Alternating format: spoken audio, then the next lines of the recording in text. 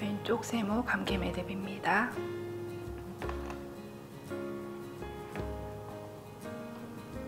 왼쪽으로 한번 감아줍니다. 오른쪽은 가로에서 세로로 돌려 육자구리 만들어 주시고요. 가로로 감아줍니다. 육자구리 세워서 잡으시고요. 왼쪽에서 들어와서 고리 감고 나갑니다.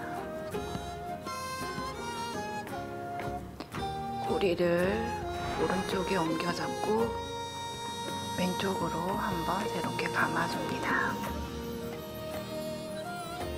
왼손에 잘 옮겨 잡고요. 이쪽 부분 안 빠지도록 조심해 주세요. 그리고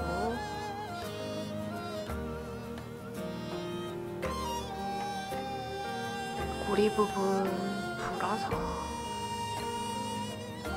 풀어서 감고 육자고리 세워서 고정해 주고요. 왼쪽에서 들어와서 감고 다시 나갑니다. 여기 세로로 채워줄 텐데요.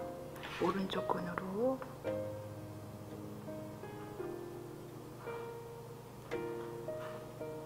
이쪽에 들어가야 됩니다. 살짝 뒤집으면 라인 보이시죠? 여기로 나갑니다. 그러면 매듭은 완성되었고요. 잘 정리해 보겠습니다.